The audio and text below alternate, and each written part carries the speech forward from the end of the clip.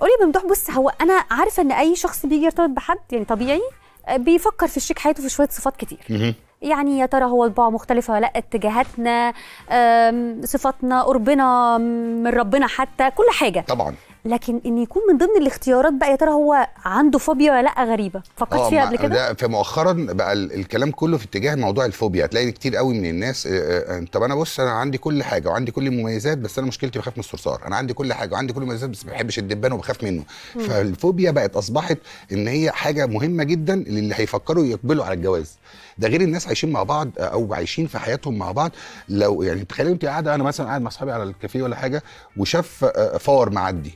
سيبنا ويجري طب أنا هسألك سؤال أنت تفرق معاك ترتبط بواحدة عندها فوبيا في حاجة؟ آه. هتفرق معاك؟ آه طبعا. إيه طيب؟ قولي يعني لو فوبيا مثلا من الصراصير أو الحاجات دي طب إيه المشكلة مش طب؟ هسيب الشغل وأروح أقتل في الصرصار أنا آه. ما آه، يعني يعني هتاخد بالها من البيت كويس يعني هتوقف الجواز علشان صرصار؟ لا يعني هخليها هي تضربه بإيديها لغاية ما- هي لازم ما يكونش لازم بالنسبة لي بص الفوبيا دي آه، عاملة لي فوبيا. أنت عندك فوبيا من حاجة؟